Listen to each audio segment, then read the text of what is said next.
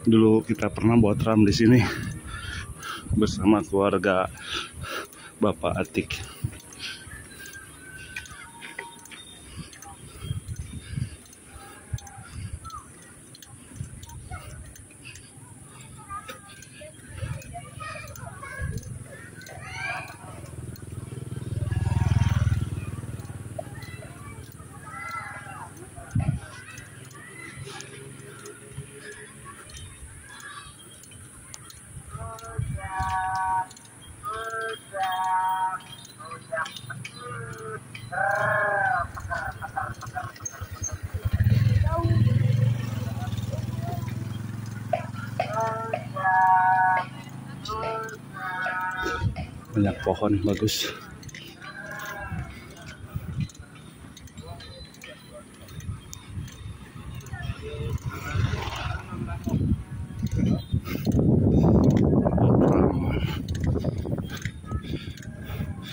Jangan lupa sampahnya ya.